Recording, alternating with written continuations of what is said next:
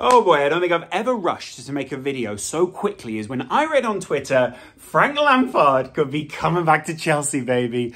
Oh, oh football gods, you are so good to us. You are so good. Like, uh, and this is, this is like the best news any football channel's ever had. Because Frank Lampard is box office.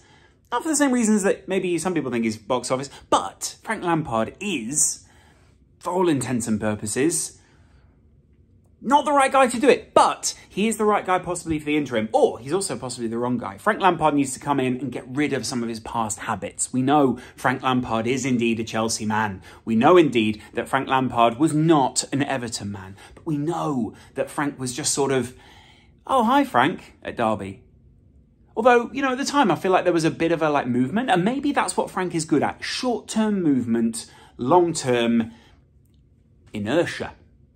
While Chelsea are trying to get their new guy in, it could well be that Frank Lampard is the new Chelsea manager. A short stint, a time to maybe redeem himself, a time when he can not play with tactics.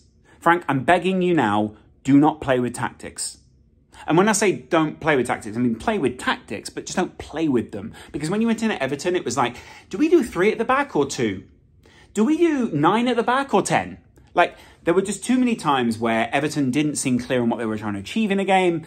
And uh, frankly, I, I, kind of wonder what's the difference between Frank Lampard and just any interim manager? Is this just something to win the Chelsea fan? Is there like a PR move in this somewhere? Is this basically Todd Boehly going, listen, I hear you, all right? I've watched James Allcott's uh, video where Laurence McKenna suggests Frank Lampard. When I heard the name, I thought to myself, that rings a bell. Is that the guy that plays 4-4-3? And I got straight on the phone. I said, listen, old regime, new boss now, all right? You ain't, you ain't gonna be going out under me in any short-term thing. And here's the great thing. I don't have to sack you if it's a short-term signing, all right? So if you sign for the short term, I don't have to say, I got rid of him. Unless, of course, it goes terribly. But I don't think it's going to go terribly. Frank isn't the kind of guy for it to go absolutely terribly. In fact, I think a new manager bounce is exactly the kind of manager that Frank Lampard is. Boy, oh boy, oh boy, does he have enough time to get his tactics employed and put into this Chelsea side before they play Real Madrid? Does Frank Lampard want to be on the bench for that first Real Madrid game? Or does he want to see how good they are and then go, maybe I'm good?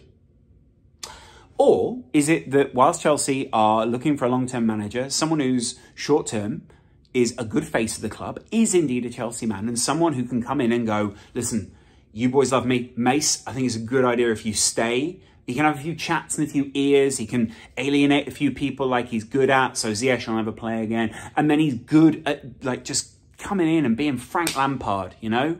It's going to be lots of the old, yeah, so, you know, we, we almost got him in the end, but, you know, a couple of goals and we were dead. But no, seriously, we've, we've really got to stay above the relegation zone at this point. The good news is, I think Chelsea are relatively safe from relegation. So the job that Frank Lampard needed to do at Everton, no, no need to do that no more. Am I too giddy for this? Lamps. I quite like Frank Lampard. I think he seems like a lovely guy. And the few times I've seen him, I've never met him, but I've seen him in public, I thought, you look like a good man. You look like the kind of person that everyone would want at their club. You are affable, you represent the team well, you don't do any NFTs, broadly you're moving in the right direction. I mean, English. All of these different factors will factor into whether Chelsea go for Frank Lampard or not. And really, the real reason they're going for him is PR. Because, frankly, I think they needed a figurehead change. They needed someone who would come in and the players would go, I respect you. Graham Potter always had the questions over him. He was quite timid, is what a lot of people said. He wasn't ballsy enough. He wasn't the kind of guy who'd come out and go, yeah, we're going to win that Champions League, you know? But he did. And people thought that was out of character.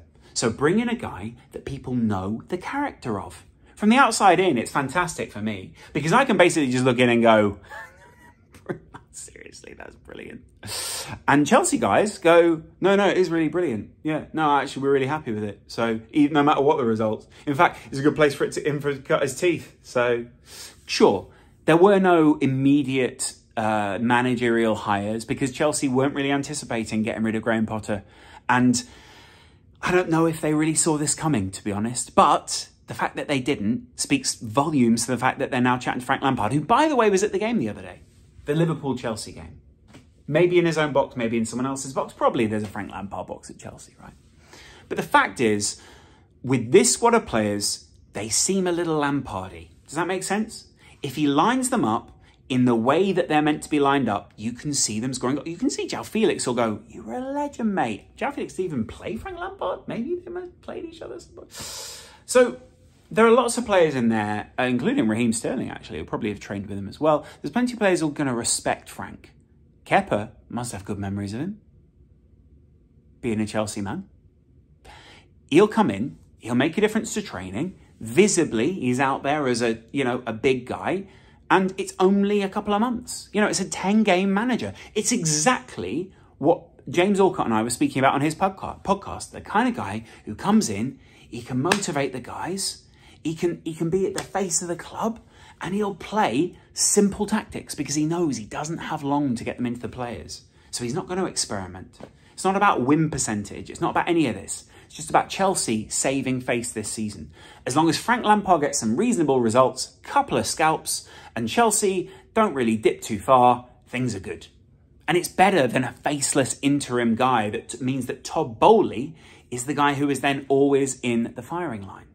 Of course, Lampard also won't want to be a sacrificial lamb. He is far from a mug. So whether Lampard even takes the role in the first place is a whole other gamut. But I do know for a fact that he was upset when he left Chelsea and he'll want a chance, but almost a tryst of a relationship to try to redeem himself. It's not good to come back in for the long term. Let me just adjust my legs. It's not good to come back in for the long term. It's not good to, you know, come back in and go, hey, I'm going to fix things. And especially when you know the kind of issues there are at the club. But it is good to have an Ole Gunnar Solskjaer type character at the head of it, right? already Todd Boehly's bringing out some of these plays. It, it is a little damning that they got rid of Graham Potter, a manager who is incredibly intelligent tactically, who probably could have gotten through to the end of the season, who probably, if it was told to play like Frank Lampard played, could have gone, it's a little fundamental, isn't it? And probably would have done something if he'd have been told, look, just bring this plane into land but it just wasn't pleasing the Chelsea fans. And maybe this is also good the other way. Maybe Todd Boehly is saying, I hear you, Chelsea fans. I hear you. I'm in here, not just up here, all right? You guys want a certain kind of manager, and that is what we are giving you. You don't like Lampard? It's not me, it's Lampard. You don't like his backroom staff? It's not me, it's Lampard. He's probably going to be able to encourage players in that midfield and put someone in a Lampard role. And oh, God, I'm actually really excited right now. And I'm not quite sure why. But at the same time, where does this leave Chelsea? Do they finish higher up? Do, do they? Does it give them more time to get a quality manager, or does it show that they don't have that pull right now? Are they a bit of a poison chalice to the point where they have to go back to older managers, old interests, older people who maybe have slightly diminished their reputation since leaving Chelsea, or maybe Chelsea helped slightly diminish their reputation. Of course, what we're forgetting is that last time Lampard was at Chelsea, we didn't know how much of a mess things were. We didn't know that when they needed someone like a Thomas Tuchel to come in and bomb them because things behind the scenes were not great. So I'm kind of positive about this. I just feel neutral, but that neutrality feels so good. So yeah, I'm sure there are plenty of people out there defending Lampard's win record, which was relatively all right at Chelsea, which was better than some other guys. I'm sure there are some people out there who are saying he left too soon. This is a nice little kiss and goodbye. Hey, babe, I'm coming back to London for a couple of weeks. Let's hook up. And all that kind of thing. It was also just, we need to go down a list of names and some Lampard. Good. You still got his number? I think so. Is it dialing? Good. Hi, Frank. Yep, good. So, I think it's broadly good. If I was a Chelsea fan, I wouldn't be thrilled about it, but I would be excited.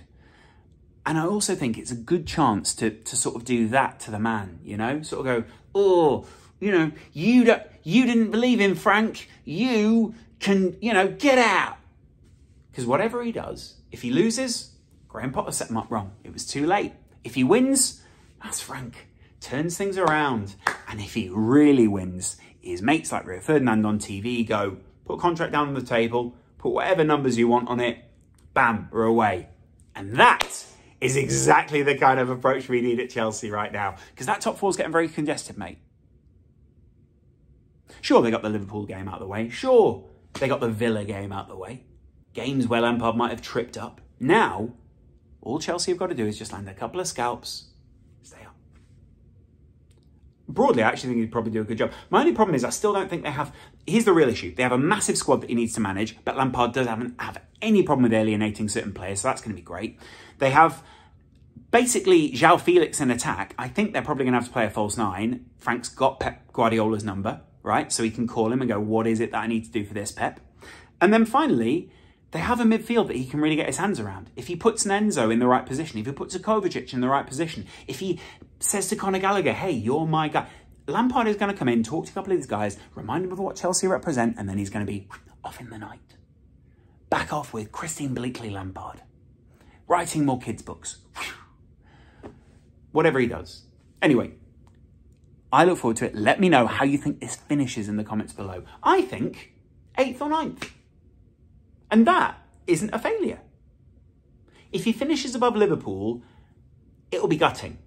But there is a real chance of that. So let's see. Let me know what you think in the comments below and I'll see you again in a little while. Just an initial reaction. I'm looking forward to it. Much love. Bye.